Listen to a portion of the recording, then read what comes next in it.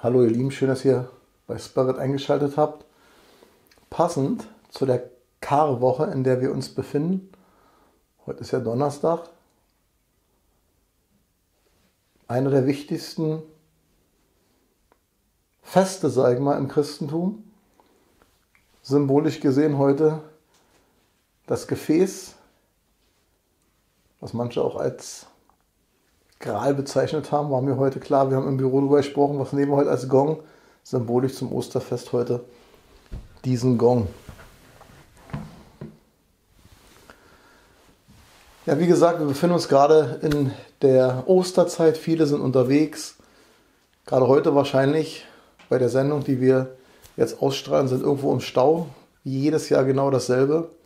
Aber die wenigsten befassen sich damit, mit dem eigentlichen Geschehen. Jetzt wollen wir nicht irgendwie nostalgisch da einsteigen und sagen, oh, wir machen jetzt die große christliche Messe überhaupt nicht. Mir geht es nur darum, Zeichen zu setzen, Zeichen zu setzen, für jeden Einzelnen selber mal drüber nachzudenken, was Tatsache passiert, was Tatsache gefeiert wird und was hat das eigentlich mit uns zu tun. Und hatte oft über die Thematik schon gesprochen. Ich könnte vielleicht erinnern, in einer Spirit-Sendung habe ich mal erklärt, dass ähm, es gibt ja zwei Arten von, von Jesus, sag ich mal, wie der nach außen herübergetragen wird. Die meisten kennen den leidenden Jesus, der am Kreuz gemartert dort hängt, am Karfreitag, festgenagelt. Warum? Weil die Masse sich für Barabbas, einen Mörder, entschieden hat und gegen Jesus, der die Liebe gepredigt hat. Und im Endeffekt, wenn wir uns aber draußen anschauen, die Welt, die Welt, die eigentlich nur aus Kriegen besteht. Der Krieg im Außen ist ein Spiegelbild nur der Welt, die wir uns im Inneren uns haben, so wie innen, so auch außen. Das ist nicht nur eines der hermetischen Gesetze, sondern das ist einfach mal ein universelles Gesetz, was schon immer da war und immer sein wird. Das heißt, du kannst, wie gesagt, nur im Außen das als Wirklichkeitsebene wahrnehmen, was du in dir selber trägst. Und weil wir aber so fokussiert sind auf das Außen, nur das, was wir sehen und das nur als, also die Materie, die nichts anderes als geronnene Energie, Quantenphysiker und so weiter, haben die alle schon tausendmal äh, beschrieben und nachgewiesen. Und trotzdem ist es für uns irgendwie nicht nachvollziehbar.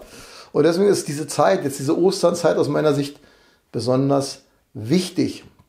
Und das ist natürlich klar, auch wenn wir geschichtlich reingehen, dass wir dort erkennen, dass die Kirche unbedingt Gott braucht als Existenzberechtigung. Nur die Frage ist, braucht Gott auch die Kirche? Und um diese essentielle Frage ging es eigentlich schon seit jeher und dieser legendäre Streit, um den es damals ja ging, zwischen den Essenern, den Gnostikern, die die Gnosis vertreten haben, wo damals Kaiser Konstantin sich ja festgelegt hat für die äh, Nicea, ähm, auf die Staatsreligion letztendlich, die katholische Staatsreligion.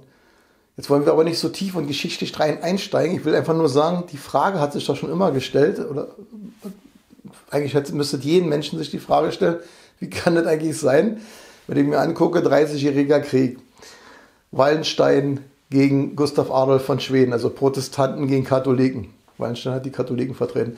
Oder er geht zu dem 100-jährigen Krieg, weil der ein Wahnsinn ist zwischen Frankreich und England im Mittelalter. Und ich kann noch weiter zurückgehen, ich kann bis zum Pharaon zurückgehen. Die Ägypter haben auch nur Kriege geführt. Da wurden eigentlich nur Kriege geführt. Wurde so viel Leid, Leid hinterlassen, nicht nur Kriege, dass, dass Menschen gegeneinander gekämpft haben, sondern auch so Vergewaltigungen, Morde, Massenmorde. Unvorstellbar. Und dazu gehört auch, was wir den Tieren natürlich antun. Und es ist, das scheint sich nichts verändert zu haben. Aber uns erzählt man immer wieder die neue, schöne, tolle Welt. Deswegen New World Order ist ja schon so eine Sache an sich, dass man erwähnt wie neue Weltordnung. Ja klar, wird, wird eine neue Weltordnung massiv installiert gerade, das wissen wir ja auch. Aber die Weltordnung aus der Sicht der Leute, die die inszenieren, die ist eigentlich noch dunkler und kühler und als überhaupt jemals vorher war. So ist ja der Plan. Aber was hat das jetzt mit uns zu tun? Was hat mit Jesus zu tun? Eine ganze Menge. Und das sage ich als Nicht-Christ, weil wenn wir uns mal den Leidensweg Jesus angucken, darum geht es ja in dieser K-Woche, angefangen vom Palm Sonntag bis zum Kar-Samstag, dann wird leicht übersehen, dass es eigentlich was ganz Besonderes ist und eine ganz besondere Botschaft hat. Und darum geht es mir hier. Das heißt also, diese Leute, von denen wir sprachen, im 100-jährigen Krieg oder bei der Christianisierung von Lateinamerikas, da sind sie rumgerannt mit dem Kreuz und bei den Haien Feuer und schwört ab, schwört ab. Und an dem Kreuz war immer der leidende Jesus. Und das ist erwiesen. Mittlerweile gibt es sogar ähm, Publikationen, Bilder darüber, wenn die kirchlichen Gesandten in die Städte reingekommen sind und das Kreuz über, also sind sie rumgerannt. Das ist ja legendär. Schwört ab und die Menschen sind auf die Knie gefallen. Also, Jesus, und da müssen wir jetzt auf dem Boden liegen, weil die sagen ja, also der hat ja für euch, hat er gelitten ja am Kreuz, für euch alle. Aber wir sind ja die Vertreter. Wir sind die Vertreter ja von Gott hier auf Erden. Und wir führen das jetzt aus. Da kann ich ja noch sagen, naja, okay, die Masse konnte damals kein Lateinisch, obwohl Lateinisch ja die Bibel übersetzt worden ist von Hieronymus. Der wurde damals vom späteren Papst Gregor ja beauftragt. Und trotzdem stellt sich ja die Frage, hm, selbst dann, wenn die nicht Lateinisch sprechen können und Lateinisch nicht verstehen und man ihnen sagt, was sie zu machen haben, da haben sie, so wie heute, die Masse der Bevölkerung, ich sage, Corona war ja der beste Vergleich, mehr geht ja gar nicht, Obrigkeitstreue, ja, wenn die so sagen, dann ist es so. Also vergleichbar jetzt, also wenn sie uns sagen, die Erde geht unter, die Klimaterroristen, ja, dann müssen wir wirklich alles tun, so sinngemäß. Also diese Obrigkeitstreue war schon immer vorhanden. Aber irgendwann wurde die Bibel ja übersetzt, wie wir wissen. Also Hieronymus hatte ja letztendlich die Evangelien, die in äh, Aramäisch waren, teilweise in Griechisch, die hat er erst übersetzt ins Lateinische, obwohl er der zig Passagen gab, die wurden ja weggelassen. Also wahre Botschaften, aber ist das nicht Teil dieser Sendung. Fakt ist aber eins, irgendwann kam, Martin Luther um, kam ein Martin Luther um die Ecke und hat dann die Fassung übersetzt ins Deutsche. Aber spätestens seitdem müssten die Menschen doch wissen, und ist jetzt auch schon knapp äh, oder 500 Jahre her, über 500 Jahre, müssten die Leute ja wissen, dass Jesus gesagt haben soll bei der Bergpredigt, liebet eure Feinde. Liebet deine Nächsten so wie dich selbst. Und irgendwie ist es unerklärlich. Damals war der Bauernaufstand von Thomas Münzer noch in, in seiner Zeit, wurde ermordet, abgeschlachtet bis zum Abwinken. Äh, irgendwie scheinen die das alle nicht verstanden zu haben im Namen von Jesus Christus. Untereinander. Katholiken gegen Protestanten, das hat sich ja diese Jahrhunderte durchgezogen. So, jetzt hat man augenscheinlich den Eindruck, dass die Kirche nicht mehr so die Macht hat. Aber wir sollten uns so die Frage stellen, irgendwie scheint das alles nicht funktioniert zu haben. Und irgendwie die Leute, Jesus ist das prominenteste Beispiel dafür, die den Weg geebnet haben, als Befreiung von der polaren Welt, der polaren Welt, der Welt der Materie, der Metall, der Dualität, der Zweiheit in die Einheit, Zweiheit in die Einheit. In dem Fall gibt es einen Begriff Gott dafür, dass die Menschen, er ist ja nun ein, eine wichtige Person, gibt ja auch zig andere, die das auch nachgelebt haben, aber die wurden alle bekämpft, bis aufs Messer. Komisch, ne? Woran das wohl liegen mag. Und wenn wir uns aber genauer angucken, dass es, deswegen ist diese Zeit so wichtig aus meiner Sicht, dass diese Auferstehung, die ja auch von den Christen ja irgendwie gefeiert wird, aber achtet mal bitte so nebenbei. Die Auferstehung ist der, Triumph, der triumphierende Jesus. Wir haben auf der einen Seite den Leidenden und wir haben den triumphierenden Jesus, der quasi die Materie überwunden hat. Aber die Sache wird nicht groß publiziert. Die Bilder siehst du nirgendwo in den Kirchen. So sollte man mal drüber nachdenken, warum eigentlich nicht? Wenn da jemand ist, der den Weg gezeigt hat, den Weg in die Einheit, in die Weg, er sprach von seinem Vater, Gott, aber es ist zur Einheit, die wir uns mit unserem polaren Denken gar nicht vorstellen können. Weil die Einheit ist unvorstellbar. Und wenn man das so sieht, ist Ostern im Endeffekt das Ziel des Menschen, den Weg in die Einheit zu gehen. Und Jesus hat es letztendlich vorgelebt. Und viele denken, das ist eine kleine Märchengeschichte, aber es ist keine Märchengeschichte. Da ist viel mehr da dran, weil jeder die Möglichkeit hat, im Endeffekt in die Einheit zu kommen. Aber er sagt ja, mein Reich ist nicht von dieser Welt, aber es ist äh, inwendig in uns. Das heißt also, in jedem von uns drin steckt das Göttliche. Und da sind wir bei dieser alten Anekdote, die habe ich in meinem Buch Neo und im neuesten Buch ja auch detailliert erläutert. Das ist ja ein Kapitel über Gott, über diese Themen ja sowieso, ähm, wo Gott drei Engel beauftragte, wo quasi die Göttlichkeit versteckt werden soll von den Menschen. Und da hat der erste Engel ihm noch gesagt, ich habe eine super Idee, wir werden das auf jeden Fall irgendwo im Weltall, im Universum ver verstecken, da werden die Menschen nie hinkommen. Gott hat gesagt, na, irgendwann werden die das auch schaffen. Da werden die Raumschiffe entwickeln und so weiter, kommen, kommen, kommen die auch dorthin. Zweiter Engelvorschlag bitte, der sagt dann, ich habe auch die super Idee jetzt, wir werden mitten im Meer so tief, werden die nie hinkommen, die Menschen. Sagt er, glaube ich, das werden die Menschen auch schaffen. Das ist keine gute Idee. Du, lieber dritter Engel, was ist dein Vorschlag? Und der sagte, es gibt einen Punkt. Eine Stelle, ein Ort. Ein so geheimer Ort, dass niemals die Menschen danach suchen werden, wo die Göttlichkeit, wo diese Einheit zu finden ist. Und Gott sagte, wo? Hier, im Menschen selbst. Und an dieser Geschichte ist viel mehr dran, als wie wir uns vorstellen können.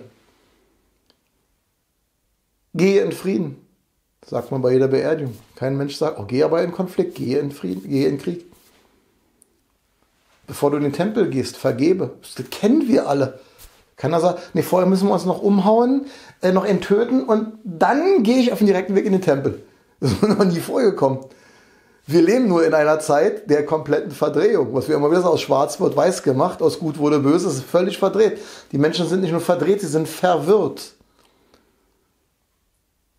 Und wenn du verwirrt bist, musst du dich entwirren aus den Verwirrungen, die von der Kindheit an bei uns vorgenommen worden sind.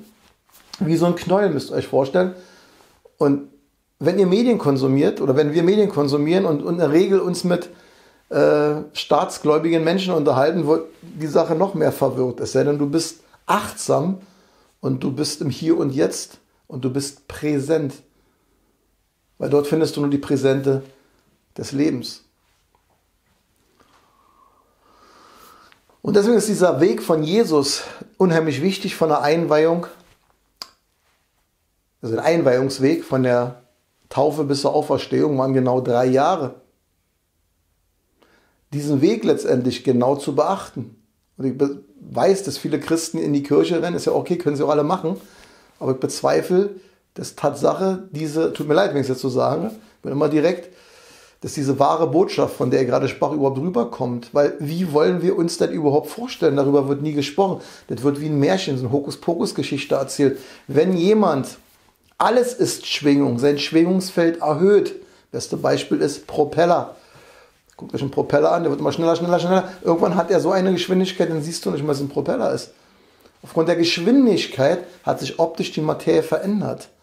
Und ja, das ist kein Hokuspokus, das ist einfach nur physikalische Gesetze. Das heißt also, wenn jemand sein Schwingungsfeld erhöht, ist logisch, das wussten in allen Mysteriums schon alle großen Eingeweiden, dann wird er unsichtbar.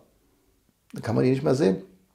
Ob der Verstand wieder so, also Blödsinn, das kann halt ein Zaubertrick sein von Copperfield um eine Ecke gerade, hat er ihm gerade neu gegeben. Nein, nein, das ist Tatsache so.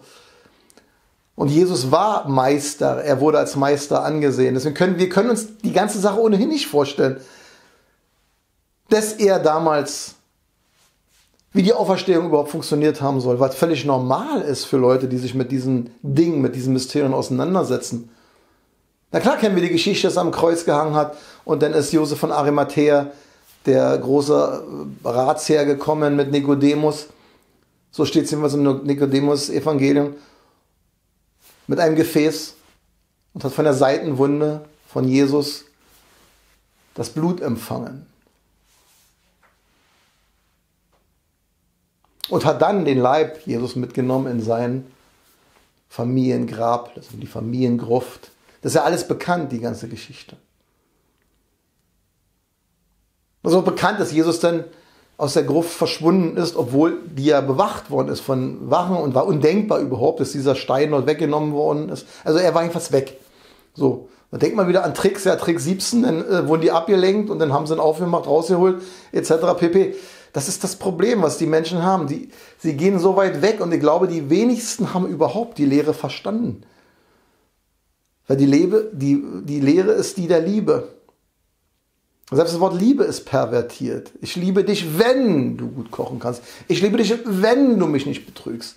Ich liebe dich, wenn du nett zu mir bist. wenn du das alles nicht machst, dann liebe ich dich nicht. So sind wir als Kinder aufgewachsen. Wir alle, ich, jeder. Nur unter Bedingungen. Aber die wahre Liebe, auch von der Jesus sprach, die ist bedingungslos. Sie hat keine Bedingungen. Wir erwarten von Gott selbst, er soll alle lieben. Das ist eine reine Erwartung. Wir sagen auch nicht, ah, der hat aber jetzt uns betrogen, weil der liebt ja auch noch die Moslems und die Juden und auch noch äh, andere Glaubensrichtungen, Hindus etc. pp. Das erwarten wir regelrecht. Aber wir haben es nicht geschafft, über die Jahrtausende aus diesem Riesenkonflikt herauszukommen. Ich will jetzt nicht mich festnageln, ihr könnt auch Buddha, wir könnten auch x andere äh, Weisheitslehrer nehmen, die Yudo Krishnamurti, der für mich einer der größten des letzten Jahrhunderts ist. Egal wie sie heißen, sie haben alle, wenn ich es mal als Religion besser, die Religion oder die Botschaft der Liebe verbreitet. Und deswegen glaube ich, ist es wichtig jetzt, dass wir zu Ostern nicht nur Osterwasser trinken und sagen, Juppi, jetzt ist die Familie mal zusammen, so wie Weihnachten haben wir mal wieder einen Grund. Weil das ist so wie Scheuklappen weggucken, jetzt ist alles in Ordnung, aber ab morgen ist wieder, können wir uns wieder streiten. Mit dem Arbeitskollegen, mit dem Nachbarn, über die bösen Politiker, die ja zuständig sind für unsere Verhältnisse, die wir haben. Und meine Eltern, weil die haben sich damals scheinen lassen, die haben dies, das gemacht und deswegen sind sie für meine Verhältnisse, die ich jetzt habe, zuständig. Aber es gibt einen, der hat damit nichts zu tun, das ist derjenige selbst. Und deswegen ist es wichtig, dass wir aus meiner Sicht über diese Dinge mal nachdenken und möchte an dieser Stelle noch einen Dank loswerden für alle, die jetzt noch dran geblieben sind, weil die Sendung war mir extrem wichtig zur Osterzeit zu bringen. Für alle Unterstützer, die wirklich dabei sind, überhaupt dieses Format aufrechterhalten zu können. Und auf der anderen Seite die Verbindung, die ich immer wieder spüre. Und vielen Dank für die vielen Mails an euch, die ihr mir schickt und die mir aber wieder zeigen, dass trotzdem unsere Gemeinschaft immer größer wird, wie ein Pflänzchen, was man gießt und was wächst. Und wir sind alle Teil davon, von dieser Bewegung, die Bewegung der Wahrheit, der Liebe, der Freiheit, die immer größer wird. In diesem Sinne wünsche ich euch ein wunderschönes Osterfest und denkt immer daran, was wir wissen, ist ein Tropfen, was wir nicht wissen, ist der Ozean. Alles Liebe, bis zur nächsten Sendung, euer Heiko.